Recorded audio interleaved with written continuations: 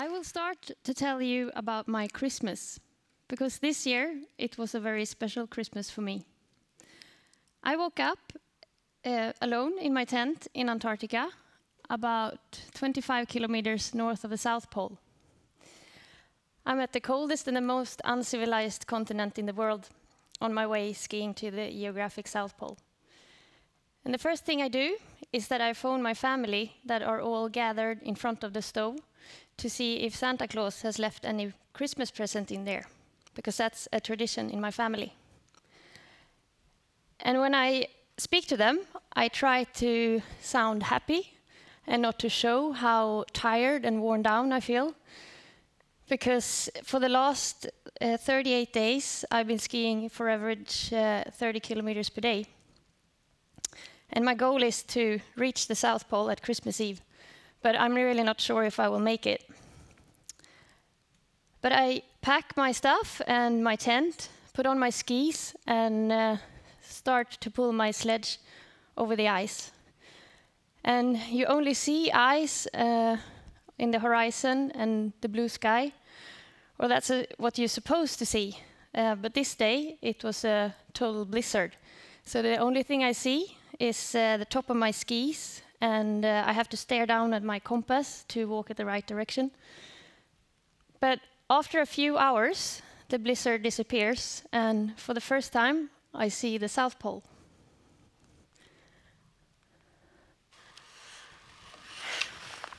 Jag ser Sydpolen. Och solen har kommit fram. Jag tror jag kommer klara det. Lyckotårarna bara sprutar in i gogglesarna. Herregud. Det har varit eh, en tuff vecka. Det måste jag ha det eftersom jag är så här eh, emotional. Åh oh, shit. 18 eh, kilometer någonting kvar. Jag tror att det kommer gå. Herregud. Och Jag har inte ens kommit fram än. Hur, hur kommer den här dagen bli? Och det är julafton. Åh oh, shit.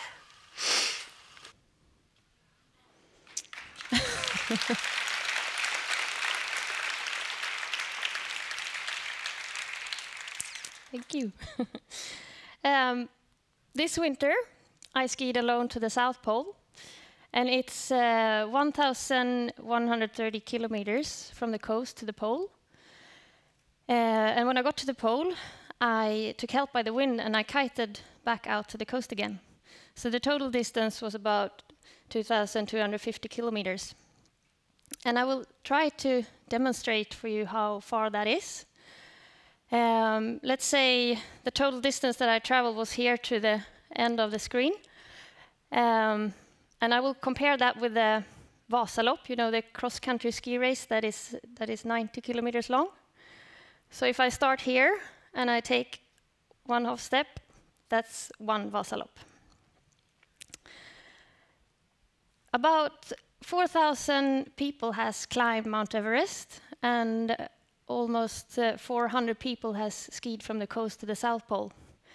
And at the plateau of Antarctica, it's uh, not a single sign of life. It's too cold and too sterile for any animals or plants to live or grow there. And that could maybe seem a bit cold and not so nice and unfriendly, maybe. But for me, this was my dream and a paradise. Uh, the temperatures I had were about minus 10 to minus 30 degrees. And uh, when it reached its coldest in Antarctica, they measured temperatures to down to minus 89 Celsius. So it can be cold. And when it's wind, the wind is cold. And the day were, days were very similar, and it's all about doing the same thing day after day to have uh, good routines, and uh, everything was planned uh, from the start. I knew what I was going to eat and how much I was going to eat every day, and every little gram has been uh, carefully thought through. And it's really important with the preparations because I'm far away from help. So the repair kit has been uh, really checked exactly, and also the first aid kit had pills for most kind of health conditions. So that I'm, that I'm normally working as a nurse felt like a good thing. Uh, and all these details are important to make the whole expedition successful.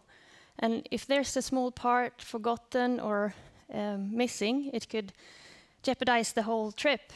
And I think that's also something you can think of in other things, not only a polar expedition. If you have thought about all the details in a big project, you have a bigger chance of succeeding, either if it's in your work or if it's in your life.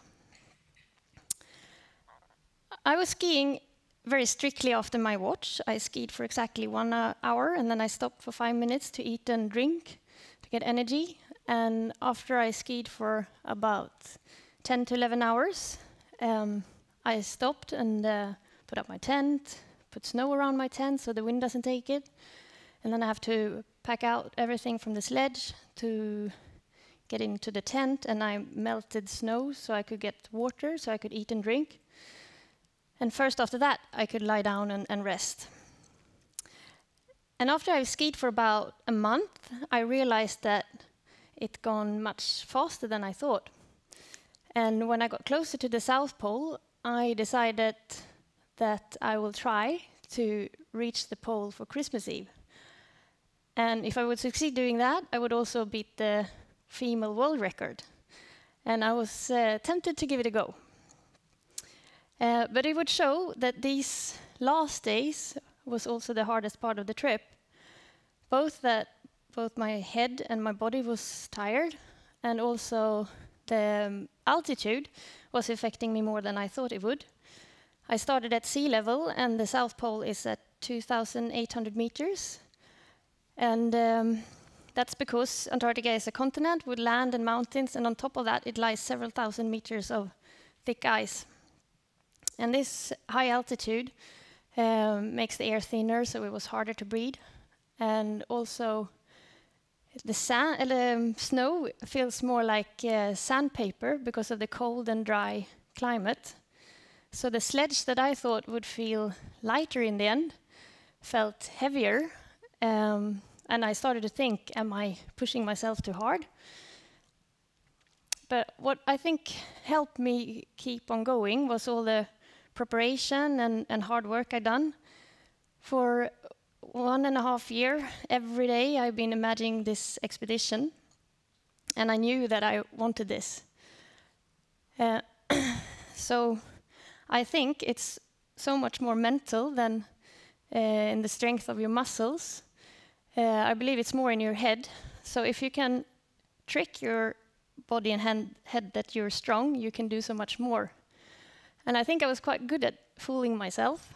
I will uh, try to explain in a couple of examples. I went on a training trip together with my sister to Greenland. And uh, we decided to make a pact that we called the Easy Pact. And we came up with this pact when we were pulling our sledges from the sea ice up to the plateau that was about a 2,000 meter climb. And our sledges weighed about 120 kilos each, and it was heavy. But if we kept on saying that the sledges are so heavy and it feels so heavy, the trip would be heavy. So we decided we won't use that word. We just say it's easy. And if it's really hard, we could say it's relatively easy. And by doing that, the trip was, uh, of course, easier. And when I was in Antarctica, I really tried to not start thinking negatively. Uh, because if I start to think in a negative way, um, there's no one else who could get me on other thoughts, only I could motivate myself. So I really tried to stay positive. And I was also good at giving myself compliments. Uh, I thought that I'm superwoman doing these long distance and my body's like made for this. And when I believed in it, um, of course it went easier. And I also tried to celebrate everything I could celebrate. like when I passed a degree or I had my birthday on the way to the pole. And then I had surprised myself with bringing balloons and cake and candle. And I also had a couple of mantras that helped. Uh, and I think it's good to have mantra, but you need to believe in them. So when it was relatively easy, I thought, don't stop just because it's hard. Stop if something is wrong or something hurts, but not just because you're tired. Or when it was heavy and boring, I uh, thought that everything changes. Maybe next hour or next day will feel better because everything changes. And now I will take you back to Christmas Eve. I have about 18 kilometers left. And for the last couple of days, I started to feel pain when I was breathing in my lungs and maybe more on my left side.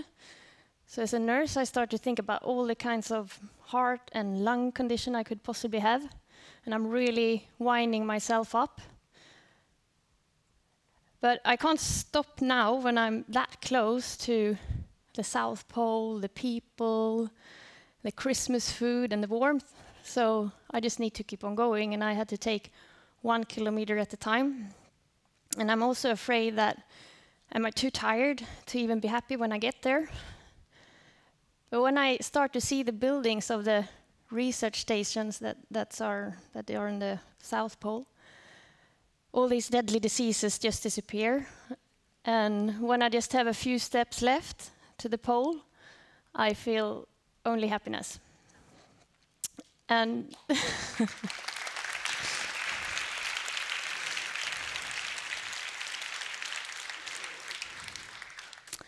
so, what have I learned by skiing to the South Pole? I have uh, hardly changed the world or the environment. But I uh, feel happy and free when I'm doing the trip, and I have this good feeling afterwards. And if I have inspired anyone else to go for their dreams, it's uh, so much more worthwhile for me. And I have believe more that if you have an idea and you believe in it, anything is possible. And all dreams and goals are, of course, different for different people. But if you find your dream or goal or whatever you want to call it, I hope that you go for it and don't stop just because it's hard.